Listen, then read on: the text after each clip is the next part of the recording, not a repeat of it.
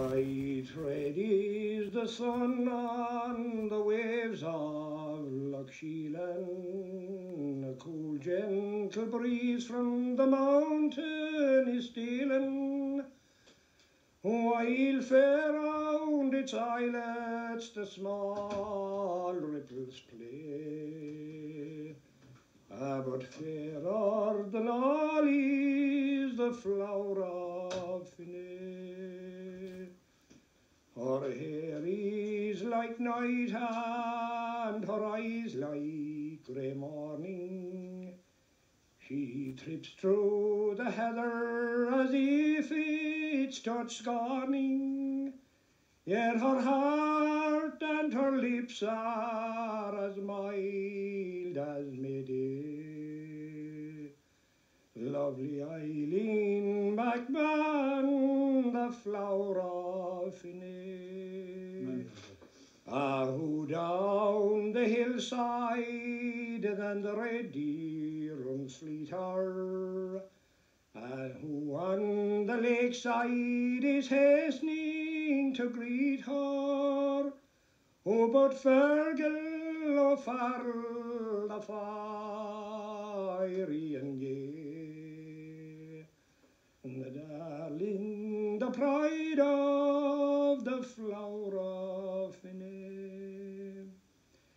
For Fergal, oh, Farrell was true to his island, and the dark hand of tyranny drove him from Ireland. He joined the brigade in the wars far away, but he vowed he'd come back to the flower of Finea. Fought at Cremona, she hears of his story. He fought at Cassano, she's proud of his glory.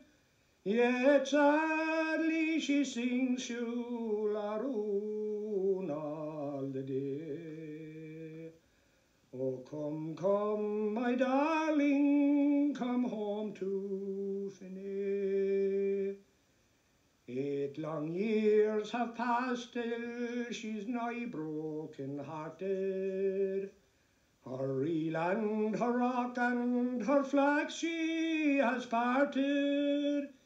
She has sailed with the wild geese to Flanders away, and left her sad parents alone in Finea. Clare on the field of Ramillies is charging. Before him the great Sassenach squadron enlarging.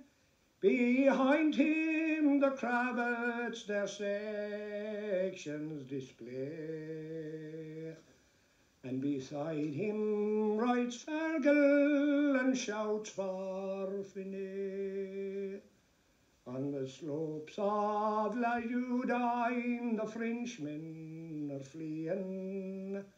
Lord Clare and his squadron the foe still defying.